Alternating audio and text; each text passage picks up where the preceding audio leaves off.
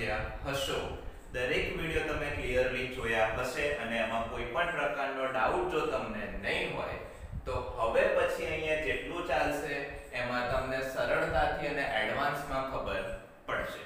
તો વિદ્યાર્થી મિત્રો, હવે આપણે આજે શરૂઆત કરશું. ધોરણ 10 ની અંદર, રસાયણ વિજ્ઞાનની અંદર સૌથી પહેલું પ્રકરણ, અને જેનું નામ છે રાસાયણિક પ્રક્રિયાઓ અને સમીકરણો. તો ચલો વિદ્યાર્થી મિત્રો, શરૂ કરીએ. તો અહીંયા તમે જોઈ શકો છો કેટલીક રાસાયણિક પ્રક્રિયાના ઉદાહરણ આપેલા છે અને તેના પરની અસર તમને આપેલી છે. હવે આપણે આગળ ફેરફાર બે પ્રકારના ચર્ચા કરી હતી. કયા કયા ફેરફાર? ભૌતિક ફેરફાર અને બીજો છે રાસાયણિક ફેરફાર. એમાં આપણે સ્પષ્ટપણે એવું પણ શીખ્યા હતા. ભૌતિક ફેરફાર કોને કહેવાય? તો કોઈ પણ પદાર્થનો રંગ છે, આકાર છે, એના બાહ્યતમ ગુણધર્મમાં ફેરફાર કે જેને તમે જોઈ શકો છો એને આપણે ભૌતિક ફેરફાર તરીકે ઓળખીએ છીએ અને રાસાયણિક ફેરફારનો મતલબ એવો થાય છે કે કોઈ પણ તત્વની અણુરચના કે ઇલેક્ટ્રોન બંધારણની અંદર અથવા તો તેની આંતરિક રચનામાં થતો ફેરફાર કે જેને આપણે રાસાયણિક ફેરફાર તરીકે ઓળખીએ છીએ. તો અહીંયા આપણે ચર્ચા કરશું કેટલીક રાસાયણિક પ્રક્રિયાના ઉદાહરણ. તો સૌથી પહેલું ઉદાહરણ તમને આપેલું છે ઉનાળામાં ઓરડાના તાપમાને દૂધને જો ખુલ્લું રાખવામાં આવે તો દૂધ બગડી જાય છે. કેમ બગડી જાય છે? સીધી વસ્તુ છે કે દૂધ એવો પદાર્થ છે કે જેને ઠંડકમાં રાખો તો તેના પર તાપમાનની અસર ન થાય અને તેની અંદર રહેલા ફૂગ કે જે બેક્ટેરિયા છે એ વધારે પોતાનું વિસ્તરણ કરે નહીં. ઓકે? બીજું છે, લોખંડના તવા તપેલી અને ખિલ્લાને ભેજવાળા વાતાવરણમાં ખુલ્લા મૂકવામાં આવે તો તેના ઉપર કાટ લાગી જાય છે. કાટ લાગવાના લીધે તેનું ખવાણ થાય છે. અને લોખંડ છે એ પોતાના ઉપર કાટ એટલે કે આછા લાલ રંગનો પદાર્થ તમે જોઈ શકો. છો તાંબુ જેવી ધાતુ હોય તો તેના ઉપર તમને લીલા રંગનું ક્ષારણ જોવા મળે છે. એના પછી દ્રાક્ષનું આથરણ થાય છે.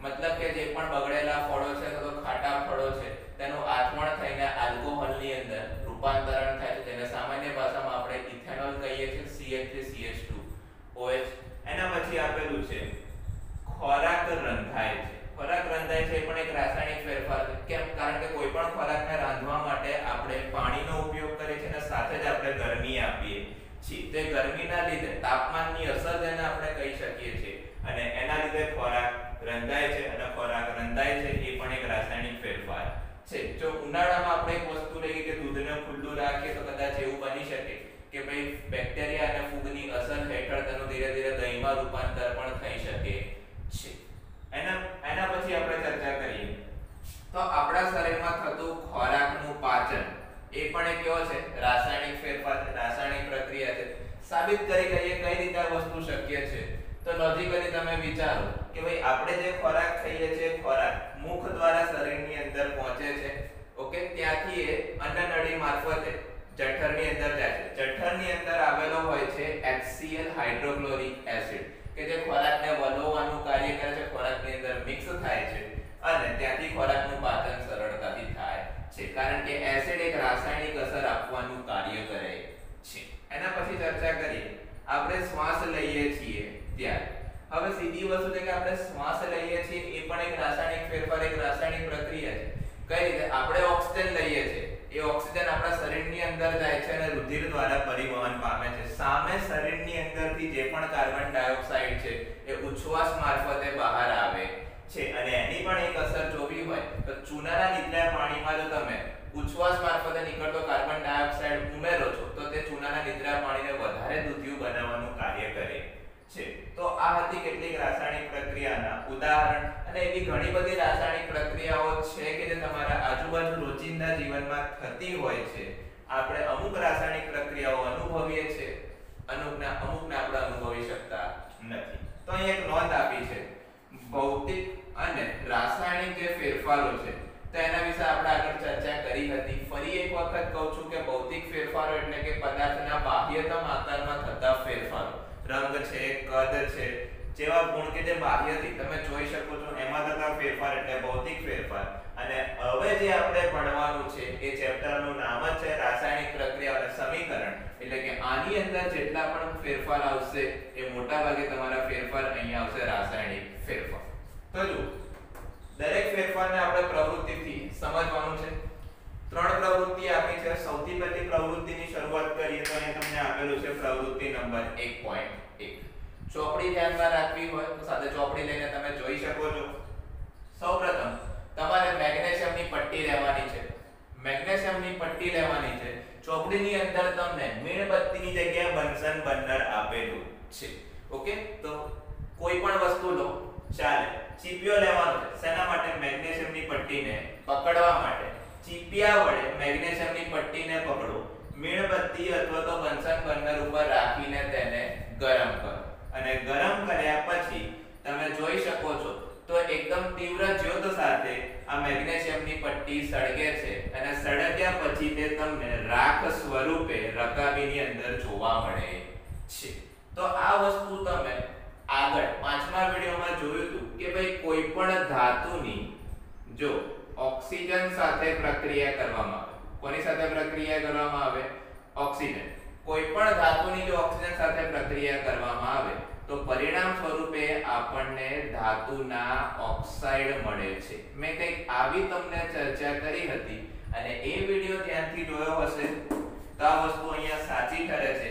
ચેક કરવું હોય તો કરી લેવું. મેગ્નેશિયમની ઓક્સિજન સાથે પ્રક્રિયા કરવામાં આવે. બરાબર? અહીંયા આપેલું છે ઓક્સિજન જો મેગ્નેશિયમની તમે ઓક્સિજન સાથે પ્રક્રિયા કરો, તો બંને વચ્ચે પ્રક્રિયા થઈને તમને મેગ્નેશિયમ ઓક્સાઇડ મળે Mg O2 પ્રક્રિયા થઈને તમને શું મળે છે? 2MgO મેગ્નેશિયમ ઓક્સાઇડ કે તીવ્ર જ્યોત સાથે સળગે છે અને છેલ્લે રાખ સ્વરૂપમાં તમને મળે છે. હવે એક વસ્તુ ખાસ ધ્યાન રાખવી કે ભાઈ સમીકરણ સંતુલિત કરવાનું. તો અહીંયા જોઈ શકો છો મેગ્નેશિયમ કેટલા છે? 2 અહીંયા કેટલા આપેલા છે? 1 તો એક આપેલો છે સંતુલિત કરવા માટે તમારે 2 વડે ગુણવું પડે. તો 2 એકા 2 તો આપણે એનું લખી શકીએ? 2mg O2 અહીંયા તમને મળે છે 2mgO તો આ તમારી પહેલી પ્રવૃત્તિ અહીંયા. પૂર્ણ થઈ. બીજી પ્રવૃત્તિ તમને સાઈડમાં બોક્સમાં આપેલી છે. જરા નજર રાખજો. પ્રવૃત્તિમાં એવું કહે છે કે લેડ નાઇટ્રેટ વિદ્યાર્થી મિત્રો, સૂત્ર લખવું હોય તો લખી નાખજો PbNO3 ટ્વાઇસ લેડ નાઇટ્રેટનું તમારે દ્રાવણ લેવાનું છે અને તેની અંદર પોટેશિયમ આયોડાઇડ, જેને આપણે Ki કહીએ છીએ, એ તમારે ઉમેરવાનું છે. તો અહીંયા તમે પ્રક્રિયા જોઈ શકો છો. PbNO3 ટ્વાઇસ વત્તા Ki વચ્ચે તમે પ્રક્રિયા કરો છો, તો આયનીકરણ થઈને કંઈક આ રીતે છૂટું પડે છે. અને નિયમ છે, હંમેશા ધન આયન, ઋણ આયન પ્રત્યે આકર્ષણ ધરાવે છે. તો આ જે Pb2 છે, એ અહીંયા આયોડાઇડ માઇનસ પ્રત્યે આકર્ષણ ધરાવે છે. તો Pb2 અને અહીંયા આય માઇનસ પાર્ટનર ચેન્જ થાય તો અહીંયા તમને પરિણામ સ્વરૂપે મળે છે PbI2 જેને આપણે અહીંયા કહીએ છીએ લેડ આયોડાઇડ અને એ જ રીતે અહીંયા પોટેશિયમ આયન છે, એ NO3 પ્રત્યે થાય તો અહીંયા મળે છે KNO3- સોરી KNO3 જેને આપણે કહીએ છીએ પોટેશિયમ નાઇટ્રેટ સમીકરણ સંતુલિત કરવા જઈએ, તો અહીંયા પોટેશિયમ કેટલા આપેલા છે? 2 ઓકે? અહીંયા કેટલા આપેલા છે? એક જ, તો અહીંયા 2 વડે ગુણવું પડે.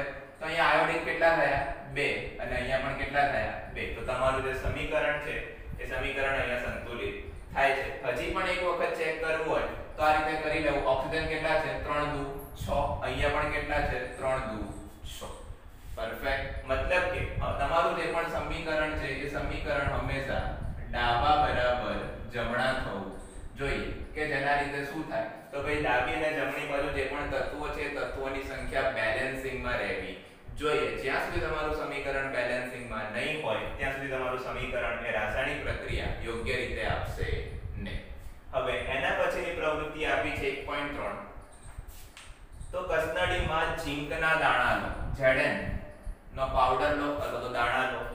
તેની અંદર તમે હાઇડ્રોક્લોરિક એસિડ એટલે કે HCl ઉમેરો, અથવા તો જો હાઇડ્રોક્લોરિક એસિડ સાથે પ્રક્રિયા ન કરવી હોય, તો બીજો ઓપ્શન સલ્ફ્યુરિક એસિડ એટલે કે H2SO4 ઉમેરીને પ્રક્રિયા કરો અને રાસાયણિક ફેરફારની નોંધ કરો તમારી સરળતા ખાતર તમને ફરી એક વખત રિવાઇઝ કરાવી દઉં તો રસાયણ વિજ્ઞાનની પાયાની માહિતી ભાગ 5 ની અંદર આપણે ભણ્યા હતા ધાતુની એસિડ સાથે પ્રક્રિયા અને એ વખતે મેં તમને એવું કીધું હતું કે જ્યારે પણ કોઈ પણ ધાતુની એસિડ સાથે પ્રક્રિયા કરવામાં આવે તો આપણને ડાયહાઇડ્રોજન વાયુ છૂટો પડીને મળે છે અને ક્ષારનું નિર્માણ થાય છે પ્રકૃતિ સમજવા અહીં સોરી પ્રક્રિયા સમજવા માટે આકૃતિ પર એક નજર મારો તો સૌથી પહેલા તમારે એક ફ્લાસ્ક લેવાનો છે ફ્લાસ્કની અંદર તમારે ઝીંકના ટુકડા નાખી દેવાના છે. ઝીંકનો પાવડર હોય તો પણ ચાલે, અથવા ઝીંકના દાણાદાર ટુકડા તમારે નાખવાના છે. ઉપરના ભાગને કાણાવાળા બૂચ વડે બંધ કરી દેવાનો છે અને કાચની નળીમાંથી ધીમે ધીમે હાઇડ્રોક્લોરિક એસિડ આની અંદર ઉમેરવાનો છે. જો હાઇડ્રોક્લોરિક એસિડ વડે પ્રક્રિયા ન કરો, તો સલ્ફ્યુરિક એસિડ લો, તો પણ ચાલે. અને પ્રક્રિયા કર્યા પછી તમારે ચેક કરવાનું છે તો અહીંયા તમને ડાયહાઇડ્રોજન વાયુ ઉત્પન્ન થતો દેખાય છે. દેખાય ને ફીલ થાય કઈ રીતે? તો આ વસ્તુ ચેક કરવા માટે તમારે ઉપર એક અગરબત્તી છે, અગરબત્તી સળગાઈને મૂકવાની, જેવું એસિડ અને ઝિંક સાથે પ્રક્રિયા થાય છે કે જેવો હાઇડ્રોજન વાયુ ઉત્પન્ન થાય છે, એવી અહીંયા ઉપર રાખેલી અગરબત્તી એ ધડાકા સાથે સળગે છે. કારણ કે જે પણ હાઇડ્રોજન છે, એ હાઇડ્રોજન દહનશીલ વાયુ છે, પોતે જ સળગે છે, બ્લાસ્ટ થાય છે. ઓકે તો આ વસ્તુ ક્લિયર થઈ ગઈ. પ્રક્રિયા ઉપર ફરી એક નજર મારીએ. તો જો જિંકની તમે HCl સાથે પ્રક્રિયા કરો છો, તો અહીંયા Zn HCl, zinc hydrochloric acid. અહીંયા લખેલું છે નામ, લખી નાખું. ઓકે અહીંયા એ બે ઇલેક્ટ્રોન ગુમાવે છે અને HCl નું આયનીકરણ થાય છે H+ અને Cl- આપણે ભણ્યા હતા કે ભાઈ પ્લસ વાળું હંમેશા માઇનસ પ્રત્યે આકર્ષણ ધરાવે તો અહીંયા ભેગા થઈને તમને મળે છે ZnCl2 અને તમને પરિણામ સ્વરૂપે ડાયહાઇડ્રોજન વાયુ છૂટો પડે છે. આપણે આને કહીશું ઝિંક ક્લોરાઇડ. ઓકે?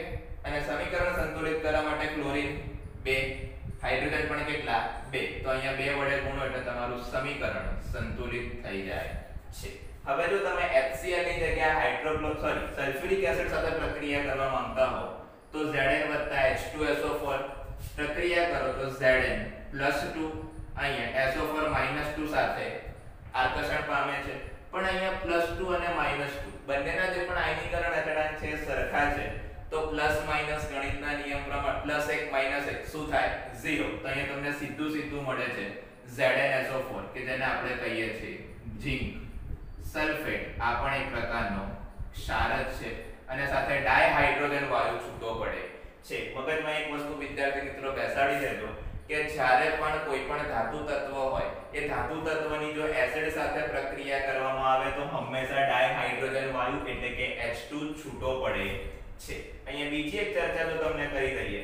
તો આટલી જે રાસાયણિક પ્રક્રિયાઓ આપણે ભણ્યા, પ્રવૃત્તિ 1.1 1.2 અને 1.3 આ ત્રણે ત્રણ પ્રવૃત્તિ પરથી તમને એટલી તો ખબર પડી ગઈ કે જ્યારે પણ રાસાયણિક પ્રક્રિયા થાય છે, તો રાસાયણિક પ્રક્રિયામાં અમુક ફેરફાર થાય છે. હવે ફેરફાર કયા છે? તો એક તો અવસ્થા પરિવર્તન થાય છે, એટલે કે પ્રક્રિયક અને નિપજની અવસ્થામાં ફેરફાર થાય છે. બીજું છે રંગમાં પરિવર્તન થાય છે, એટલે કે પ્રક્રિયક કરતા જે પણ નિપજ મળે છે, એ નિપજનો રંગ અલગ હોય છે, નિપજની જે પણ કલરની તીવ્રતા છે, એ પણ અલગ હોય. છે. ત્રીજા ફેરફારની ચર્ચા કરીએ તો વાયુનો ઉદ્ભવ થાય છે. આપણે ચેક કરી લીધું કે ભાઈ ડાયહાઇડ્રોજન વાયુ ઉદ્ભવે છે. અને તાપમાનમાં પણ પરાવર્તન જોવા મળે છે. તાપમાનમાં પણ પરિવર્તન જોવા મળે છે, ફેરફાર જોવા મળે છે. બે પ્રકારની પ્રક્રિયા હોય છે. એક ઉષ્માક્ષેપક પ્રક્રિયા અને બીજું આવે છે ઉષ્મા શોષક પ્રક્રિયા. જો તમને ચર્ચા કરી દઉં ઉષ્મા શોષકની તો જે પદાર્થ, તો જે પ્રક્રિયામાં ઉષ્માનું શોષણ થતું હોય, ઉષ્મા આપવી પડતી હોય, તેને આપણે કહીએ છીએ ઉષ્મા શોષક પ્રક્રિયા. અને જે રાસાયણિક પ્રક્રિયા દરમિયાન ઉષ્મા મુક્ત થતી હોય, તો તેવી રાસાયણિક પ્રક્રિયાને આપણે કહીએ છીએ ઉષ્મા ક્ષેપક પ્રક્રિયા. તો વિદ્યાર્થી મિત્રો, આટલી વસ્તુ ખાસ નોંધ કરી લેવી. હવે પછી આપણે બીજી ચર્ચા કરશું. એ બીજા ચર્ચાની અંદર પ્રક્રિયાઓ વિશે આપણે માહિતી મેળવવાની છે અને સમીકરણને સંતુલિત કરતા શીખવાનું છે. તો આટલું એક વખત ખાસ નોંધ કરી લો.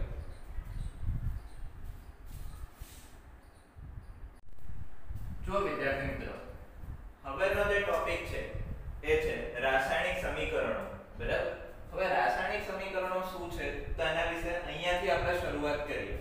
તો જો રાસાયણિક સમીકરણો માટે તમને કહે છે કે ભાઈ રાસાયણિક સમીકરણો એને સમજવા માટે તમને એ તત્વની સંજ્ઞા એની સાથે એનું સાંકેતિક નિરૂપણ, એટલે કે કોઈ પણ સંયોજન છે, તો એને તમે કઈ રીતે લખી શકો છો એ અને સાથે સાથે શાબ્દિક નિરૂપણ પણ જરૂરી છે. એટલે કે તમે એકલું HCl લખો, એની જગ્યાએ એની સાથે તમે એવું લખી શકો, હાઇડ્રોક્લોરિક એસિડ. તો એ હાઇડ્રોક્લોરિક એસિડ એ HCl નું શાબ્દિક નિરૂપણ થયું. એના પછી આપણે લખીએ છીએ H2O તો H2O નિરૂપણ એના પછી H2SO4 તો આપણે કહીએ છીએ સલ્ફ્યુરિક એસિડ. તો એ થાય છે એનું શાબ્દિક નિરૂપણ. તો અહીંયા તમને શાબ્દિક નિરૂપણ આપણે સમજાવીએ તો એક નજર કરો, અહીંયા આપેલું છે Mg. એની નીચે લખેલું છે મેગ્નેશિયમ. તો Mg માટે મેગ્નેશિયમ એનું શાબ્દિક નિરૂપણ થયું. ઓક્સિજન માટે, અહીંયા O2 માટે ઓક્સિજન, તો એનું શાબ્દિક નિરૂપણ થયું. બંને વચ્ચે રાસાયણિક પ્રક્રિયા થાય છે. તો આપણને પરિણામ સ્વરૂપે મળે છે 2MgO જેને આપણે કહીએ છીએ મેગ્નેશિયમ ઓક્સાઇડ. તો મેગ્નેશિયમ ઓક્સાઇડ એ એનું શાબ્દિક નિરૂપણ થાય છે. તો અહીંયા જે પણ તમે સમજો છો, એ સમજણમાં એવું જ કહેવા માંગે છે કે ભાઈ મેગ્નેશિયમ અને ઓક્સિજન વચ્ચે રાસાયણિક પ્રક્રિયા થઈને તમને મેગ્નેશિયમ ઓક્સાઇડ મળે છે.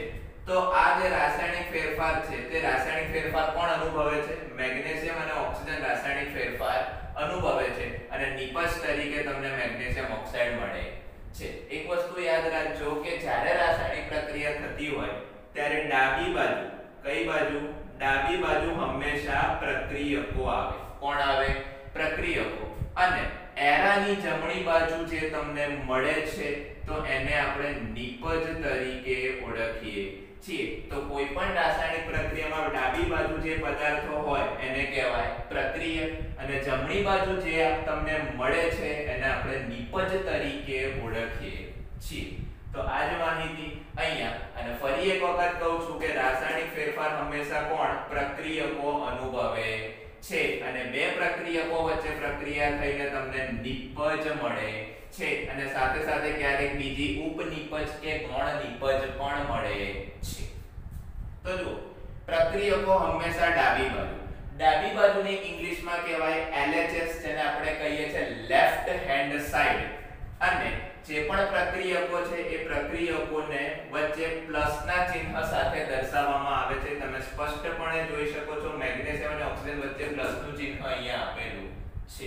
અહીંયા જે પણ નિપજો છે એ તમે જમણી બાજુ દર્શાવો છો, જેને આપણે કહીએ છીએ આરએચએસ રાઈટ હેન્ડ સાઈડ બરાબર? અને નિપજમાં સાથે બીજી કોઈ ગૌણ નિપજ કે ઉપનિપજ જો મળે છે, તો આપણે તેમાં પ્લસ દર્શાવીએ છીએ. અથવા તો જો એક જ નિપજ મળે, તો એને બીજી વખત પ્લસ સાથે દર્શાવવાની જરૂર નથી. પણ ફરી યાદ રાખજો કે પ્રક્રિયકો હંમેશા એરાની ડાબી બાજુ અને નિપજ હંમેશા એરાની જમણી બાજુ આવે. હવે પ્રક્રિયકો અને નિપજો વચ્ચે આપણે તીર એટલે કે એરાની નિશાની દ્વારા દર્શાવાય છે. પ્રક્રિયકો આ જે તીર છે, એ તીર તમને સૂચવે છે કે પ્રક્રિયકોનું રૂપાંતર નિપજમાં થાય છે. ઓકે? હવે, જે પણ આવી રાસાયણિક પ્રક્રિયા છે, એના પણ બે પ્રકાર છે. કઈ કઈ રીતે? તો ખાલી અત્યારે માહિતી પૂરતી સમજાઈ દઉં. તો પ્રક્રિયકથી નિપજ તરફ જાય, તો પુરોગામી પ્રક્રિયા અને નિપજથી પ્રક્રિયક તરફ આવે, તો એને પ્રતિગામી પ્રક્રિયા તરીકે ઓળખવામાં આવે છે. હવે, જે પણ નિપજ છે, તો એ નિપજને આપણે પ્રક્રિયાથી નિપજ તીર એટલે કે એરા વડે દર્શાવીએ છે અને આ એરો તમને સૂચવે છે કે પ્રક્રિયકનું નિપજમાં રૂપાંતરણ થાય છે. અહીંયા, તીરનો અગ્રભાગ. આ જે એરો વાળો ભાગ છે, એ એ ક્યાં આવેલો હોય? નિપજ તરફ આવેલો. ક્યાં આવેલો હોય? નિપજ તરફ. અને તે પ્રક્રિયાની દિશા એટલે કે પુરોગામી દિશાનું સૂચન કરે છે. જો એ જ એરો આ રીતે ઊંધો આપેલો હોય, તે આપણને સૂચવે છે પ્રતિગામી દિશા, પ્રતિગામી પ્રક્રિયાનું સૂચન કરે છે. અહીંયાથી તમે તમારા મામાના ઘરે જાઓ, તે પુરોગામી થયું. અને મામાના ઘરેથી પાછા તમે અહીંયા આવો, તો એ પ્રતિગામી થયું. બસ એના જેવી આ વસ્તુ છે. હવે ટોપિક છે, રાસાયણિક સમીકરણ લખવું કઈ રીતે?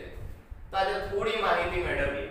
તો રાસાયણિક સમીકરણને સંક્ષિપ્તમાં, એટલે કે શોર્ટમાં, ટૂંકમાં, સૂત્રોની મદદથી લખી શકાય છે. જેમ કે, અહીંયા મેં લખેલું છે, મેગ્નેશિયમ માટે શું લખેલું છે? તો ભાઈ મેગ્નેશિયમ માટે મેં શોર્ટમાં લખેલું છે અહીંયા, Mg. પછી ઓક્સિજન માટે મેં શું લખેલું છે?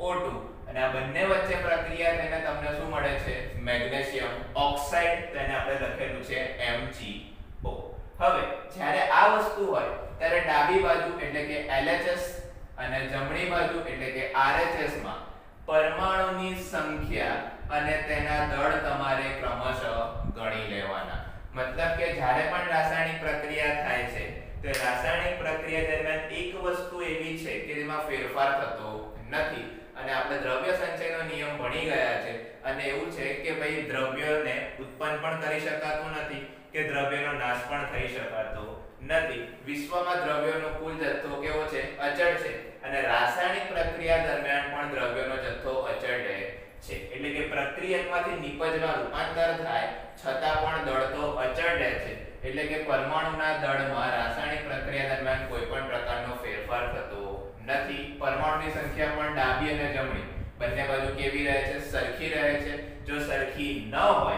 અથવા તો દળ સમાન ન આવે અથવા તો પરમાણુ સરખા ન થાય, તો માળખાકીય રીતે સિસ્ટમિક રીતે આપણે તેને સંતુલિત કરવાનો પ્રયત્ન કરવાનો છે. હંમેશા એટલું યાદ રાખજો કે જો જમણી બાજુ બે મેગ્નેશિયમ હોય, તો ડાબી બાજુ પણ બે મેગ્નેશિયમ થવા જોઈએ. જો ડાબી બાજુ બે ઓક્સિજન હોય, તો સોરી જમણી બાજુ બે હોય, તો ડાબી બાજુ પણ બે ઓક્સિજન થવા જોઈએ. જ્યાં સુધી આ વસ્તુ સંતુલિત ન થાય, ત્યાં સુધી તમારું સમીકરણ સાચું કહેવાતું નથી. તો જે આ સંતુલિત રાસાયણિક સમીકરણ છે, એ કઈ રીતે કરવાનું છે, એનો જે પણ ચર્ચા છે, એ આપણે ભાગ 2 ની અંદર માહિતી મેળવીશું. તો હાલ વિદ્યાર્થી મિત્રો, આપણે અહીંયા આપણો વિડિયો સ્ટોપ કરીએ છીએ. જો આ વિડિયો તમને ગમ્યો હોય, તો વિડિયોને લાઈક કરજો, વિડિયો પર કમેન્ટ કરજો, વિડિયોને વધુ ને વધુ અન્ય વિદ્યાર્થી મિત્રો સુધી શેર કરજો. જો તમને કોઈ ડાઉટ કે ક્વેરી હોય તમે મારા ફોન નંબર 8154044879 ઉપર કોલ ટેક્સ્ટ મેસેજ કે WhatsApp મેસેજ કરીને તમે મને પૂછી શકો છો. અને જો હજી સુધી તમે મારી YouTube channel Nikhil Mistry science learn with fun ને સબસ્ક્રાઇબ ન કરી હોય, તો સબસ્ક્રાઇબ કરી લેજો, કે જેથી અમારા દરેક વિડિયોની માહિતી તમને મળી રહે. Thanks for watching goodbye